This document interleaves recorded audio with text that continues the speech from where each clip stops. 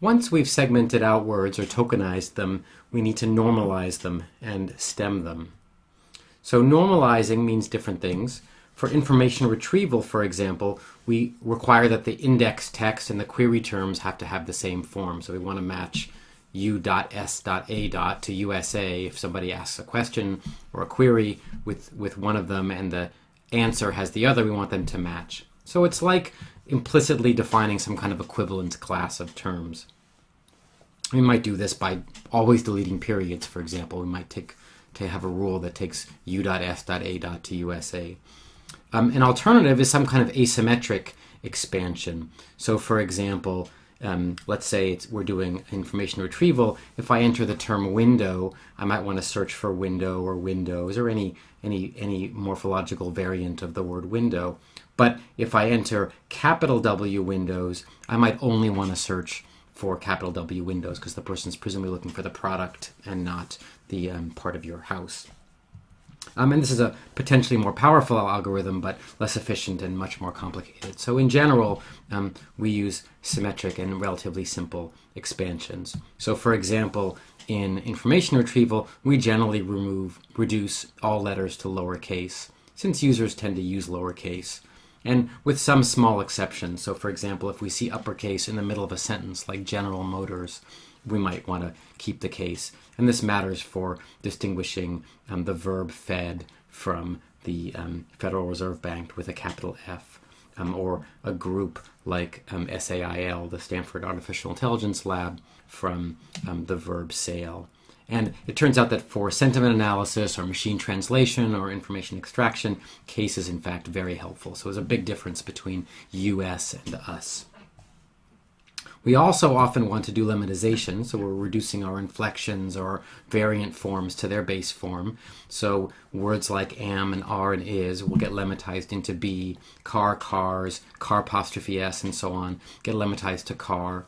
So a phrase like the boy's cars are different colors should get lemmatized to the boy car be different color.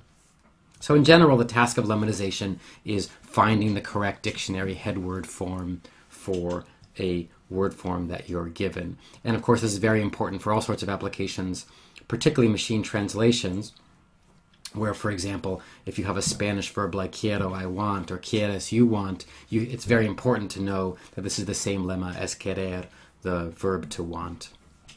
So this general topic of looking at parts of words leads us to morphology. Um, morphology is the study of morphemes, and a morpheme is the smallest unit that makes up a word. And we usually distinguish two kinds of morphemes stems, that's the core meaning bearing units um, in a word, and affixes, affixes the um, bits and pieces that adhere to the stem. Often they have grammatical functions.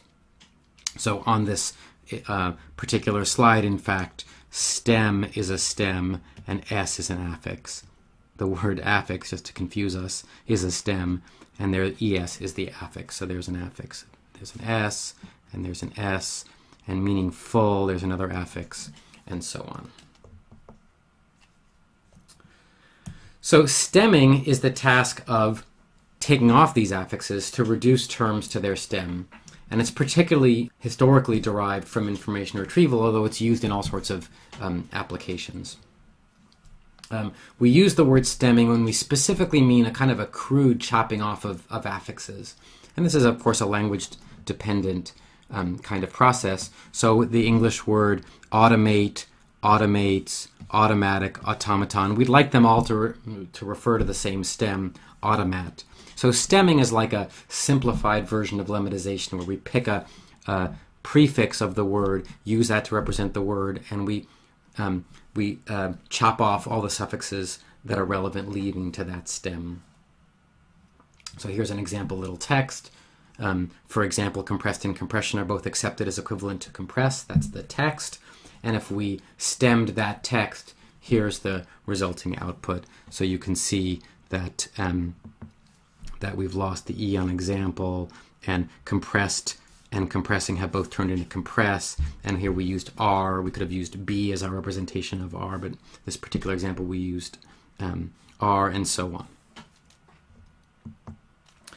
The, the simplest algorithm, the most commonly used one for simple stemming of English is the Porter algorithm.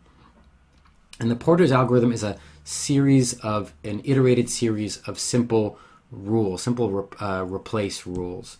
So, um, for example, um, one set of rules, st- rule step 1a, takes strings like SSES and replaces them with SS. So, in a word like caresses, it chops off the ES of caresses.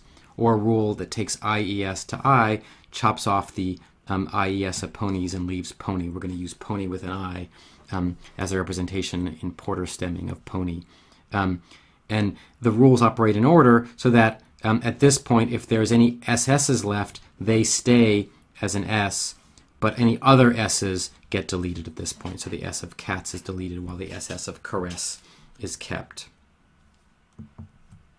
Um, similarly, in step 1b, we, might, we re- remove all of the ings and the eds. So we want to cross off the ing of walk and the ed of plastered. But we specify the rule very carefully that in the Porter stemmer, only words with a vowel get their ings removed. And that's because a word like sing, only words where there's an additional vowel before the ing.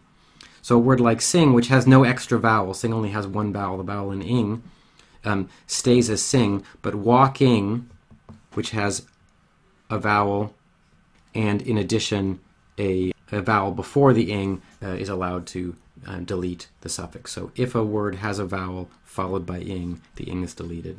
And there's lots of other such rules. So um, ational turns into ate, so we can cross off the all of relational um, and the shun and end up with relate and izer to ize, and so we cross off the r and so on. And the rules get even more complicated. So as you get to very long stems, um, you're going to remove the all, all of revival and the ubble and, and so on.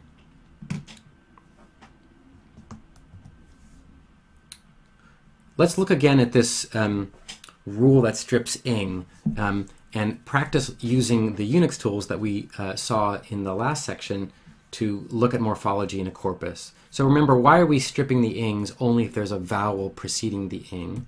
Here was the rule. Um, and remember, we said that um, in a word like walking, we have a vowel before the ing, and so it's okay to remove the ing. In a word like sing, there is no vowel before, there's no letters at all before that s, there's no previous vowels, and so sing, the rule doesn't apply.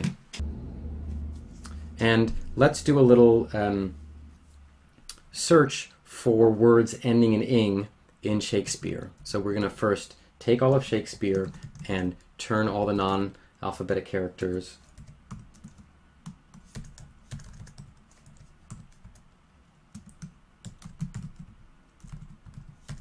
Oops. Turn all the non-alphabetic characters into new lines. So we're going to get one word per line. Then we're going to translate all of the uppercase to lowercase. So we're dealing with, we're combining all the uppercase and lowercase words. And now let's grep out. Grep um, is a program for, for um, finding any line that contains a regular expression in a file. Very useful Unix program. So we're going to look for the regular expression ing dollar sign. And um, so we'll find all words ending in ing and let's sort them and then we'll um, just take one copy of each and count them and then sort them by the counts. Let's see what words we find um, ending in ing in Shakespeare. And what we see is um, lots of these words are not words that, in fact, we would like to to um, to remove the ing from. So we have words like king and nothing and thing and ring and something and sing and um, anything and spring. So this is this is a this is there's a lot of words, a lot of very frequent words, in fact, that it would be a bad idea to remove the ing. If we remove the ing from king, we'd get k, and so on. Remove the ing from spring, we'd get spr. Um, so let's modify our rule that we did. Instead of saying grepping for all words ending in ing, let's just go back and change that to grep for all words with a vowel. We'll just make it be A, E, I, O, U. Uh, simulate our vowels with just the vowel letters. And we need some way to say there's a vowel, and then anything can happen in between, followed by the ing. Well, what's how do we say anything? dot means any character, star meaning zero or more of those. And now let's look at, um, at what words we get back from that pattern. And now, since we've specified that the word has to start with a vowel, we've done a much better job of finding two syllable words where the ing, in fact, is supposed to be stripped off. So there are still some problematic words like nothing and something. We don't want to get noth and someth um, and anything. But otherwise, um, and maybe not cunning, but otherwise, we've done a pretty good job of uh, making the rule a little bit better. So there's a little explanation of um, how the Porter stemmer works and then how we can actually y- use our Unix tools to do a little corpus linguistics to um, to help write rules of this kind. So that's a simple example of morphology. It turns out that in some languages, much more complex morphology is necessary, and Turkish is the famous example of this. So here's a word in Turkish which I um, won't be able to pronounce for you, um, which means behaving as if you were among those whom we could not civilize. So I assume it's the kind of thing your mother says to you when um, when you've been particularly naughty. Um, and in Turkish, this is one word, so it's a very long word with a lot of um, stems. We have the the the civilized stem and an affix meaning to become, and an affix meaning cause, and an affix meaning not able, and so on. Um, so in languages like Turkish, and as we saw earlier for um, the very long nouns in uh, German, we're going to have to do a richer and more complex morpheme segmentation. So as we've seen word tokenization, and now we've seen that words will have to be normalized and stems to map them to a normal form.